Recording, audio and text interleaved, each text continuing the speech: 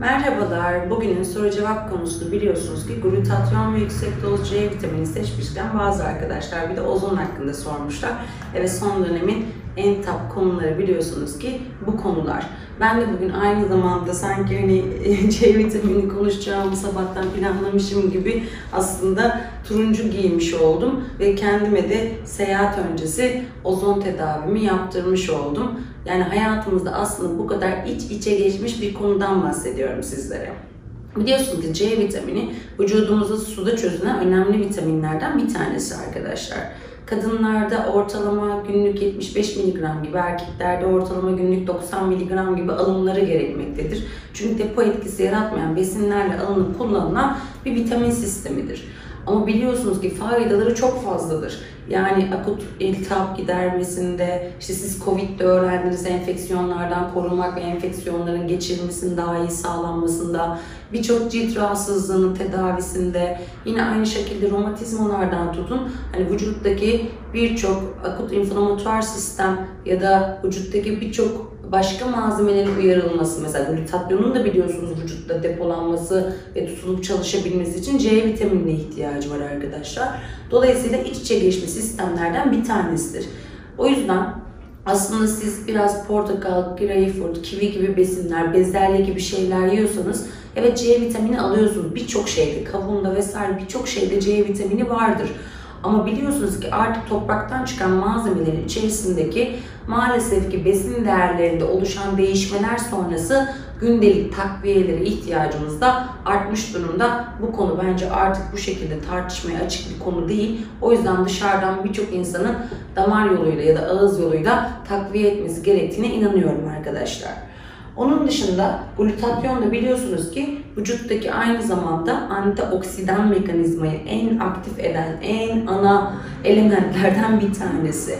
Yani hücrelerinizin biliyorsunuz ki bir şeyleri kullanıp atma mekanizması var ve bu atık mekanizmasının düzgün çalışması sizi daha sağlıklı kılıyor ve bu atık mekanizmasının yine daha düzgün çalışması sizi daha genç kılıyor.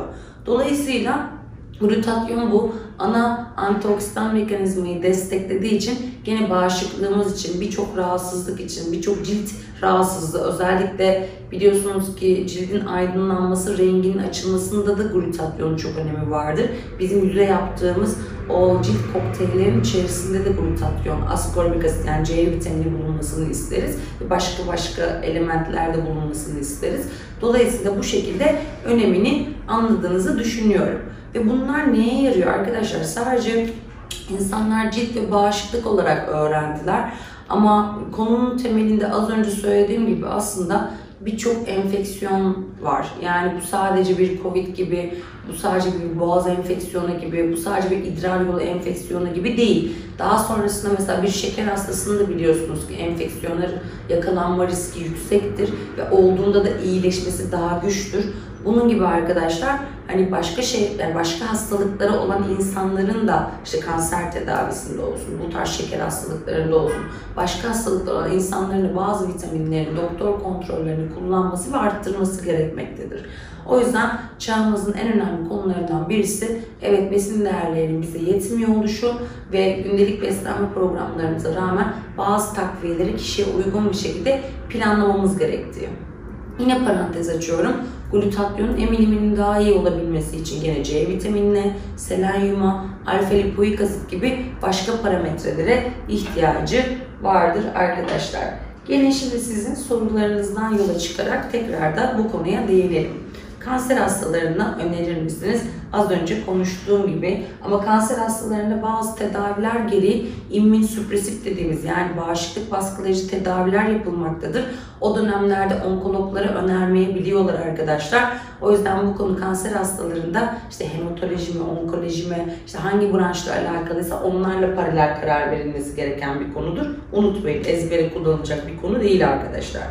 Çocuklara uzun uygulaması yapılabilir mi? Bu benim e, yaptığım bir yaş aralığı değil arkadaşlar. Biz burada ozon tedavisini 12 yaş üzerine yani dönemin içerisinde daha yeni girmiş ve sonrasında yetişkin sayılacak insanlara yapıyoruz. Ee, ama çocuk yaşta yani özellikle 0-12 yaş grubunda bu konuda daha farklı insanlara danışmak gerektiğini düşünüyorum.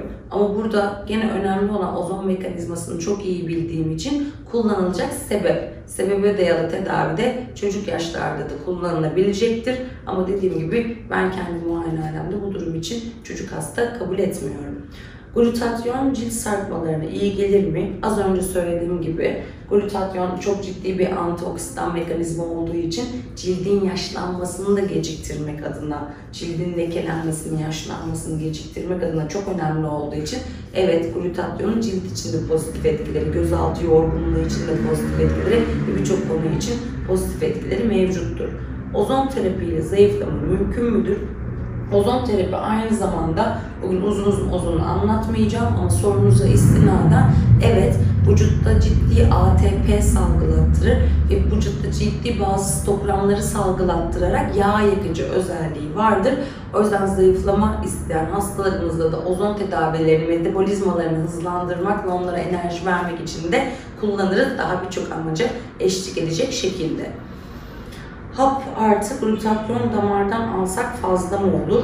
Burada yine hekim kontrolü önemlidir arkadaşlar. Bazı vakalarımızda evet haftalık glutatyon veririz IV olacak şekilde damarda ama ara dönemlerde hapta kullandırırız. Ya da bazı vakalarımızda önce IV veririz sonra bir dönem hap kullandırırız. Bazı vakalarımızda sadece işte 2 aylık 3 aylık hap formunda kullandırırız. Burada hastanın antioksidan mekanizmasını, oksidatif stres dediğimiz mekanizmasını tahmin yürüterek, gerekirse de bunun için laboratuvar testleri artık mevcut. Bunlar biliyorsunuz kanıta dayalı tıp aslında. O testlerle ölçümleyerek de karar verebiliyoruz şüphede kaldığımız hastada. Yoksa biliyorsunuz ki iyi bir anemnez, iyi bir hasta öyküsü, iyi bir semptom değerlendirmesi, bulgu değerlendirmesi yaparak da bu tarz konulara cevap verebiliyoruz. Bir parantez açayım. Sigara içip içmemek, alkol kullanıp kullanmamak da glutatyon seviyesini nasıl yükleyeceğimiz konusunda bize fikir verir arkadaşlar.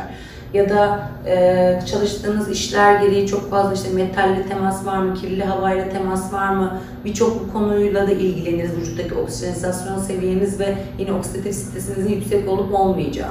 Ama üzgünüm ki şöyle bir gerçeklik de var bazen. Hasta kronik yorgunluktan bahsediyorsa ama mesela sporcudur, çok iyi besleniyordur, başka supplementaller kullanıyordur ama bir bakarız yani kronik yorgunluğu vardır, bir bakarız parametrelerine. Evet hala vücutta oksidatif stresi yüksektir. Dolayısıyla bu hastanın damardan uzun süre hem ozon tedavisi hem glutatyon C tedavisi alması daha doğrudur. Bazen de her şeyi tam yapmak aslında yine de o hastaya yetmiyor olabiliyor. Ama olabildiğince bu demek değil ki bunlar istisnalar tabii ki. Olabildiğince e, bazı dönemsel kontrollerimizi yaparak aa ne olacak mevsimsel yorgunluktur bu, aa ne olacak arada hapşursam da yorgun olsam da geçer gibi düşünmeyerek aslında bazı parametrelerimizi takip etmek önemli oluyor.